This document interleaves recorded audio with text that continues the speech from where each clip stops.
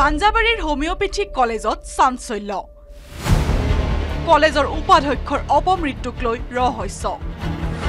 Doctor Narayan দেৱনাথৰ অপঘাত মৃত্যুৰ তদন্তৰ দাবী হোমিঅপেথিক মেডিকেল এছ'চিয়েশ্যন অৱ ইণ্ডিয়াৰ অসম শাখাৰ সাধাৰণ সম্পাদক ডক্টৰ গুণীন শৰ্মাৰ। আমি তেখেতক আগৰ পৰাই জানো যে মেণ্টেলি বহুত ষ্ট্ৰং হয় তেখেত। আৰু এনেকুৱা এটা ঘটনা সংগতি কৰিব আমিতো বিশ্বাস হোৱা নাই যে ছুইচাইড কৰিছে। তো আমি দাবী জনাইছোঁ যাতে প্ৰপাৰ ইনভেষ্টিগেশ্যন এটা হওক এইটো ছুইচাইড নে মাৰ্ডাৰ হয়। ঘটনাৰ সময়ত আৱাসত অকলে আছিল ডক্টৰ নাৰায়ণ দেৱনাথ। দেউতাক ঢুকোৱা বাবে সোমবাৰে পুৱা ইম্ফলৰ ঘৰলৈ গৈছিল একেখন কলেজত প্ৰসূতি বিভাগৰ মুৰব্বী অধ্যাপকৰ পদত কৰ্মৰত হৈ থকা পত্নী। ছোৱালী হোষ্টেলৰ ৱাৰ্ডেনৰ দায়িত্বত থকা পত্নীয়ে মঙলবাৰে পুৱা ফোনত স্বামীৰ সঁহাৰি নাপাই খবৰ ল'বলৈ কৈছিল এগৰাকী ছাত্ৰীক। ৱাৰ্ডেনৰ আৱাসৰ আধা মেলা খিৰিকী এখনেৰে জুমি চাওঁতেই ছাত্ৰীগৰাকীৰ চকুত পৰিল ডাক্তৰ নাৰায়ণ দেৱনাথৰ চিপ লৈ থকা নিথৰ দেহ। লগে লগে হাহাকাৰ লাগিল স্বৰ্গীয় যাদৱ চন্দ্ৰনাথ হোমিঅপেথিক কলেজত। ডক্টৰ নাৰায়ণ দেৱনাথৰ অপঘাত মৃত্যুৰ খবৰ পোৱা মাত্ৰকে ছাত্ৰ ছাত্ৰী আৰু সতীৰ্থ অধ্যাপকৰে ভৰি পৰিল পাঞ্জাবাৰীৰ হোমিঅপেথিক কলেজৰ চৌহদ। খন্তেক পাছতে ইম্ফলৰ পৰা বিমানেৰে আহি ঘটনাস্থলীত উপস্থিত হ'ল পত্নীও ডাক্তৰ নাৰায়ণ দেৱনাথৰ মানসিক স্বাস্থ্য সুস্থিৰ নথকাৰ বাবেই এনে ঘটনা হোৱাৰ সন্দেহ এগৰাকী সতীৰ্থৰ। আজি কেইদিনমানৰ পৰা খালি তেওঁ মোক খালি কয় যে গা দুৰ্বল গা দুৰ্বল। মানে এনেও তেওঁ কম কথাই কয় অৱশ্যে কম কথাই কয় যোৱাকালিও যেতিয়া কথা পাতিছোঁ চাৰে পাঁচটামান বজালৈকে তেওঁৰ লগত আছিলোঁ। তেতিয়াও দেখিলোঁ তেওঁ মানে কথাবিলাক মানে আগতকৈ অকণমান কম কমকৈ কোৱা হ'ল। এনেও কম কথা কয় আগতকৈও কম কথা কয়। হয়তো ভিতৰে ভিতৰে কিবা হৈ আছিল নেকি? ইম্ফলৰ পৰা পত্নী আহি পোৱাৰ পাছত এগৰাকী দণ্ডাধীশৰ উপস্থিতিত মৃতদেহ নমাই আনি আৰক্ষীয়ে আৰম্ভ কৰিছে তদন্ত।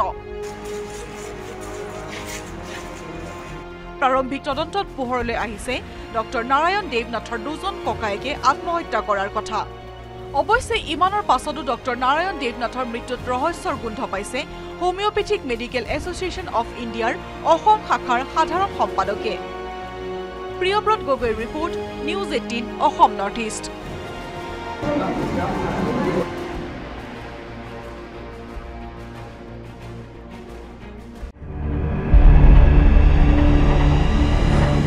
পাঞ্জাবাৰীৰ হোমিঅপেথিক কলেজত চাঞ্চল্য। কলেজৰ উপাধ্যক্ষৰ অপমৃত্যুক লৈ ৰহস্য।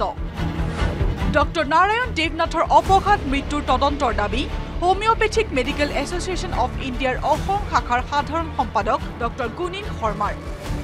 আমি তেখেতক আগৰ পৰাই জানো যে মেণ্টেলি বহুত ষ্ট্ৰং হয় তেখেত। আৰু এনেকুৱা এটা ঘটনা সংগতি কৰিব আমিতো বিশ্বাস হোৱা নাই যে ছুইচাইড কৰিছে। তো আমি দাবী জনাইছোঁ যাতে প্ৰপাৰ ইনভেষ্টিগেশ্যন এটা হওক এইটো ছুইচাইড নে মাৰ্ডাৰ হয়। ঘটনাৰ সময়ত আৱাসত অকলে আছিল ডক্টৰ নাৰায়ণ দেৱনাথ। দেউতাক ঢুকোৱা বাবে সোমবাৰে পুৱা ইম্ফলৰ ঘৰলৈ গৈছিল একেখন কলেজত প্ৰসূতি বিভাগৰ মুৰব্বী অধ্যাপকৰ পদত কৰ্মৰত হৈ থকা পত্নী। ছোৱালী হোষ্টেলৰ ৱাৰ্ডেনৰ দায়িত্বত থকা পত্নীয়ে মঙলবাৰে পুৱা ফোনত স্বামীৰ সঁহাৰি নাপাই খবৰ ল'বলৈ কৈছিল এগৰাকী ছাত্ৰীক। ৱাৰ্ডেনৰ আৱাসৰ আধা মেলা খিৰিকী এখনেৰে জুমি চাওঁতেই ছাত্ৰীগৰাকীৰ চকুত পৰিল ডাক্তৰ নাৰায়ণ দেৱনাথৰ চিপ লৈ থকা নিথৰ দেহ। লগে লগে হাহাকাৰ লাগিল স্বৰ্গীয় যাদৱ চন্দ্ৰনাথ হোমিঅপেথিক কলেজত। ডক্টৰ নাৰায়ণ দেৱনাথৰ অপঘাত মৃত্যুৰ খবৰ পোৱা মাত্ৰকে ছাত্ৰ ছাত্ৰী আৰু সতীৰ্থ অধ্যাপকৰে ভৰি পৰিল পাঞ্জাবাৰীৰ হোমিঅপেথিক কলেজৰ চৌহদ। খন্তেক পাছতে ইম্ফলৰ পৰা বিমানেৰে আহি ঘটনাস্থলীত উপস্থিত হ'ল পত্নীও ডাক্তৰ নাৰায়ণ দেৱনাথৰ মানসিক স্বাস্থ্য সুস্থিৰ নথকাৰ বাবেই এনে ঘটনা হোৱাৰ সন্দেহ এগৰাকী সতীৰ্থৰ। আজি কেইদিনমানৰ পৰা খালি তেওঁ মোক খালি কয় যে গা দুৰ্বল গা দুৰ্বল। মানে এনেও তেওঁ কম কথাই কয় অৱশ্যে। কম কথাই কয় যোৱাকালিও যেতিয়া কথা পাতিছোঁ চাৰে পাঁচটামান বজালৈকে তেওঁৰ লগত আছিলোঁ। তেতিয়াও দেখিলোঁ তেওঁ মানে কথাবিলাক মানে আগতকৈ অকণমান কম কমকৈ কোৱা হ'ল। এনেও কম কথা কয় আগতকৈও কম কথা কয়। হয়তো ভিতৰে ভিতৰে কিবা হৈ আছিল নেকি? ইম্ফলৰ পৰা পত্নী আহি পোৱাৰ পাছত এগৰাকী দণ্ডাধীশৰ উপস্থিতিত মৃতদেহ নমাই আনি আৰক্ষীয়ে আৰম্ভ কৰিছে তদন্ত।